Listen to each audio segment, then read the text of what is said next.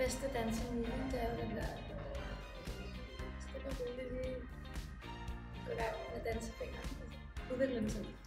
Og så til sidst, så kommer hele kroppen med, ikke? Så man kan godt sådan lige starte med, yes. Og så langsomt spreder det sådan.